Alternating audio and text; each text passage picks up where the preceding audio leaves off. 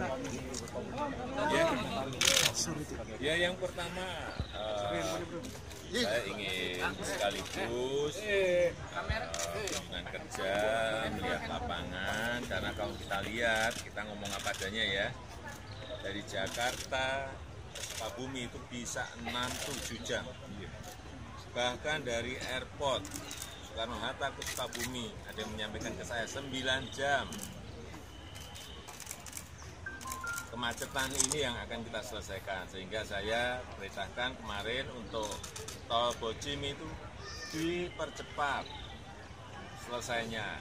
Dipercepat pertama. Yang kedua saya juga ingin melihat karena akan memutuskan dan kemarin sudah kita lihat kita putuskan untuk membangun double track dari Bogor ke Sukabumi sehingga Jakarta